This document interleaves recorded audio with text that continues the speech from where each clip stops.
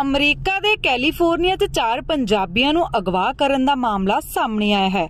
ਇਹ ਘਟਨਾ ਕੈਲੀਫੋਰਨੀਆ ਦੇ ਮਰਡਜ਼ ਕਾਉਂਟੀ ਦੀ ਹੈ। ਅਧਿਕਾਰੀਆਂ ਨੇ ਦੱਸਿਆ ਹੈ ਕਿ ਅਗਵਾ ਕੀਤੇ ਗਏ ਚਾਰ ਲੋਕਾਂ ਵਿੱਚ ਇੱਕ 8 ਮਹੀਨੇ ਦੀ ਬੱਚੀ ਅਤੇ ਉਸਦੇ ਮਾਤਾ-ਪਿਤਾ ਸ਼ਾਮਿਲ ਹਨ।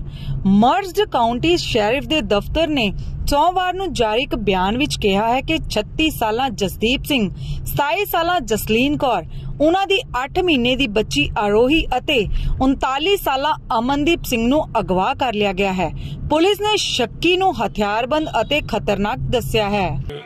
ਬਹੁਤ ਹੀ ਮਤਲਬ ਕਿ ਦੁਖਦਾਈ ਘਟਨਾ ਦੇ ਬਾਰੇ ਜਿੱਦਾਂ ਸਾਨੂੰ ਪਤਾ ਲੱਗਾ, ਸਾਡੇ ਆਪਣੇ ਹੀ ਫੈਮਿਲੀ ਮੈਂਬਰ ਵਾਂਗੂ ਹਰਸੀ ਪਿੰਡ ਵਿਖੇ ਰੰਦੀ ਡਾਕਟਰ ਰਣਧੀਰ ਜੀ ਦੇ ਦੋ ਬੇਟੇ, ਇੱਕ ਵੱਡਾ ਅਮਨਦੀਪ ਸਿੰਘ ਅਮਨ ਤੇ ਛੋਟਾ ਮੁੰਡਾ ਜੇਵੀ ਜਸਦੀਪ ਸਿੰਘ। ਜੇਵੀ ਤੇ ਉਹਨਾਂ ਦੀ ਵਾਈਫ ਤੇ 8 ਮਹੀਨੇ ਦੀ 8 ਮਹੀਨੇ ਦੀ ਬੇਟੀ ਨੂੰ ਅਮਰੀਕਾ ਵਿੱਚ ਲਗਭਗ ਕੱਲ ਦੇ ਟਾਈਮ ਉਧਰ ਸਵੇਰੇ। ਸਵਾ ਕੁ ਦਸ ਵਜੇ 11 ਕੁ ਵਜੇ ਦਾ ਟਾਈਮ ਸੀ ਉਹਨਾਂ ਨੂੰ ਉਹਨਾਂ ਦੇ ਦਫ਼ਤਰ ਵਿੱਚੋਂ ਹੀ ਕਿਡਨੈਪ ਕਰ ਲਿਆ ਗਿਆ।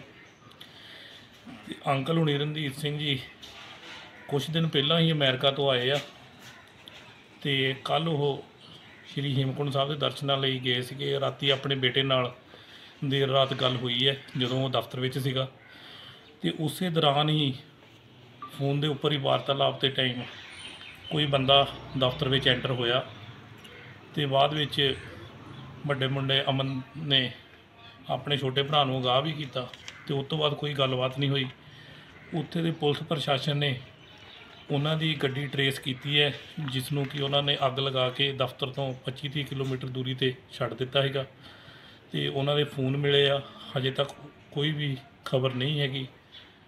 ਤੇ ਉਹਨਾਂ ਦੇ ਫਾਦਰ ਕਾਫੀ ਡਿਪਰੈਸ਼ਨ 'ਚ ਆ, ਮਦਰ ਹੈ, ਜੋ ਕਿ ਕੱਲ੍ਹ ਨੂੰ ਵਾਪਸ ਅਮਰੀਕਾ ਜਾ ਰਹੇ ਆ, ਕੱਲ੍ਹ ਸਵੇਰੇ।